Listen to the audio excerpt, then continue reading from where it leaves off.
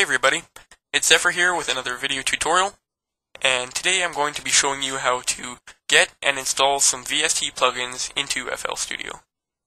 So we're going to get started right away, and I'm going to show you how to get some VST plugins. One of the easier ways to do that is uh, open up your internet browser, and we're going to go to a website called kvraudio.com.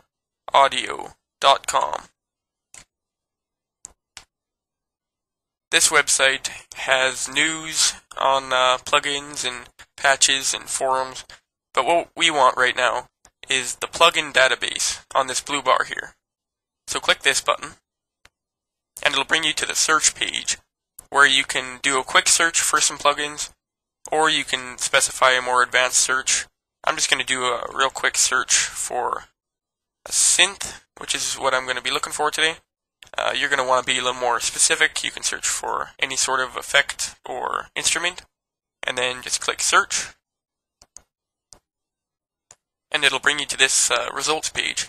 So you can see everything that it comes up with, and uh, a little bit of information on it. It'll have the product name, the developer, the type of synth in this case, or effect, the price, and which formats it comes in.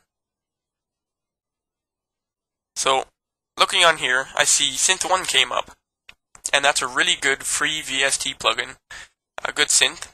So I'm going to take a look at that. Click on that, and it'll bring you to this page, the information page, where you can see a little bit more information on it. And uh, this again, and you can also look, I'm going to look at some member reviews on this bar at the top. He got uh, he gave it a nine out of ten, and he says he likes it. Reviews look good. I think I'm gonna try it out. Back on the main page here, you see it comes in VST, which is what we want. So I'm going to go to the free download link right here. Click that. It'll bring you to the page where the VST is hosted.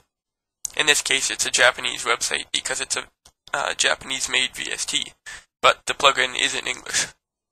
So click your link and download it, like any other link.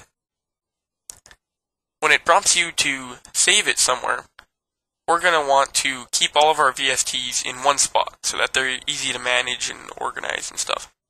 So I made a VST folder on my C drive, and uh, I'm going to save it in here but I also keep all of my plugins in individual folders to keep all of their files separate from one another, and it's just easier to organize.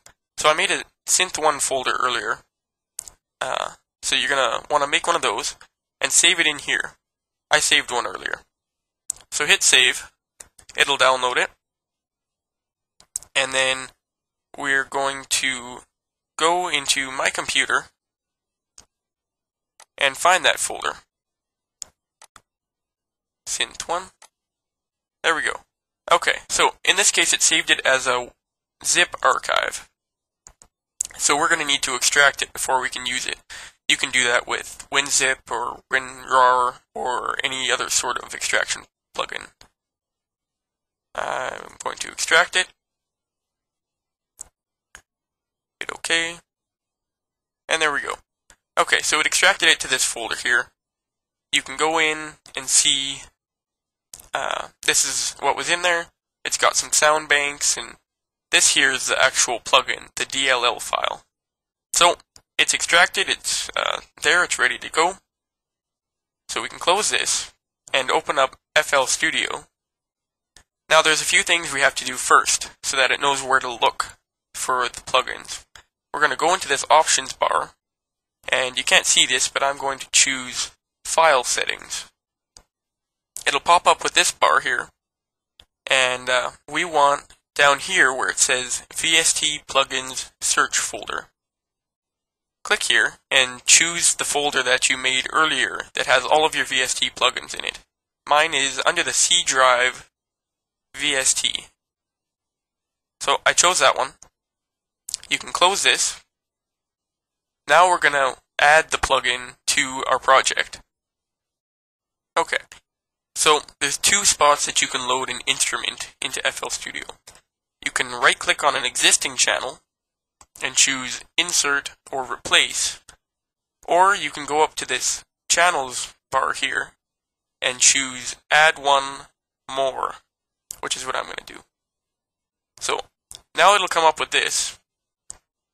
And this shows all of your plugins that are currently loaded into the folder that you said, as well as all the Fruity plugins. And uh, it's not going to show up in here yet. You need to have it refresh its directory. So go down to refresh, click on that, and it'll come up with two options, fast scan and scan and verify. You want fast scan. So click that, it'll do a quick scan, and it should tell you that it found some new plugins. Now you can scroll through the list and uh, find the new plugins. They should be bright red. Mine aren't because I uh, loaded them earlier. So find your Synth 1 plugin, and if you like, you can click here and make it a favorite so that it'll uh, show up in your quick load list. Double click that, and it'll load up like this. So now you can see in your channels bar, you have uh, the Synth 1 VSTI loaded. Now you can use it in your songs, and uh, use it in an instrument. It works fine, and uh, it's ready to go. You can also do the same thing for loading effects plugins, and just click on one of these little arrows and choose more and it'll bring you to the same place. Just choose the effect and it'll load it right up there. I hope you enjoyed this video tutorial, and if you're interested in purchasing FL Studio or any other ImageLine products, I can get you 10% off with the link in the comments of the video. Alright, see you next time. Enjoy making music.